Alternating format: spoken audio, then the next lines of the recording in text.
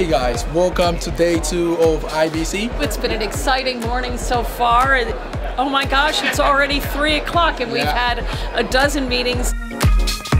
This year our team is creating the next generation video experiences for the next generation. So just around here we show some of the apps that we've done for our clients. Here you can actually see Uphone.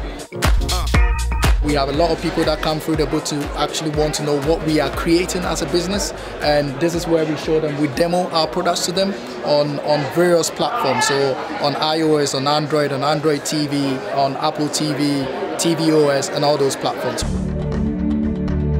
What we actually do is for our prospective clients, we show them how one of our product works, which is Backstage, um, being able to control the apps, being able to deploy um, on different platforms. How do you control them? How do you change colors? How do you make branding work?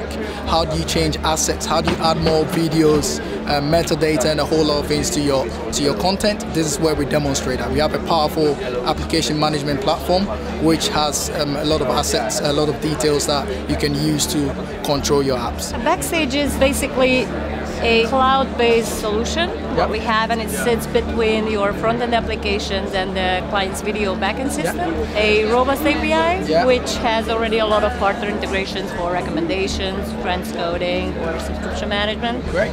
And another part is the content management system itself, where you can manage your content, of course, and the layout of your applications.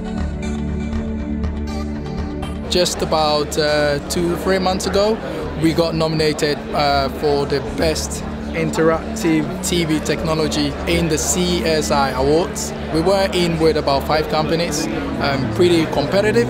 And um, yesterday there was the awards done. Everybody was like tensed because we all wanted to know who's gonna win this amazing award because it's it is really about um, interactivity and um, experience in in technology on TV. And uh, to our surprise, 24i won this award, and this was really amazing. Yeah, we're actually we're pretty happy when yesterday we heard the news that we won. We were very very proud, and uh, it's a nice result of uh, the hard work what everybody at 24i put into it. Yeah. But especially the backstage team. So thank you guys. I'm gonna pass it on to the backstage team because they won it, and this is this is pretty much really it for day two of IBC. Um, yeah, watch out for more from us. Thank you.